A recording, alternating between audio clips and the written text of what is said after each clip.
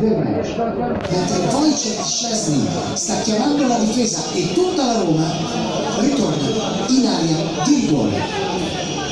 Vediamo qui là, come al solito per noi, da questo angolo a battere direttamente verso l'area di rigore affollatissima, proprio davanti a Szczesny, praticamente tutti lì.